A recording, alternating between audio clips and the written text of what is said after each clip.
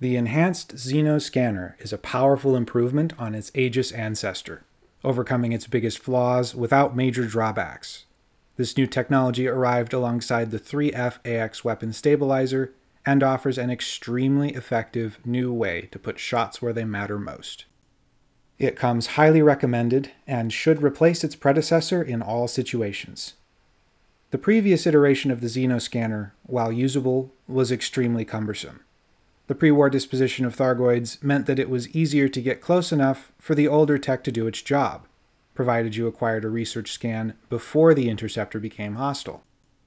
The 500 meter maximum scan range was brutal, and often required a lot of teamwork to acquire it all, especially against Medusa and Hydra variants.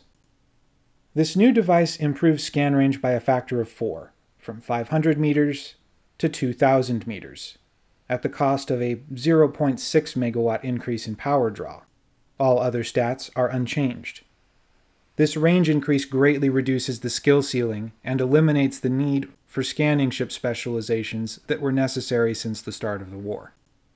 Now, any ship can readily perform the required scans at any time during a combat encounter, amplifying the power of AX gimbal and turret mounts already available.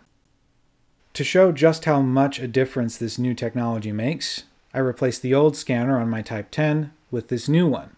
Running the same hardpoint configuration I usually do, the Type 10 instantly went from one of the least effective anti-interceptor ships to a perfectly adequate Cyclops killer. AX multi-cannons lack the raw exertion power of Guardian weapons, so it still struggles to exert Basilisk and Medusa variants alone.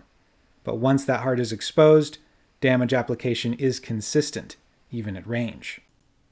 Completing research scans just went from a practical impossibility to a consistent and unchallenging affair, instantly elevating the Type 10 from its anti scout role to an effective anti interceptor one, able to provide accurate and consistent damage to exposed Thargoid hearts on all interceptors without losing any of its anti scout utility. I expect this ship to appear a lot more in situations thanks to this new module. If the Type 10 can easily get scans, then every other ship in the game will be child's play. Gone are the days where turrets and gimbals were ignored for lack of sub-target data. Now everyone can have that valuable information, even when playing alone.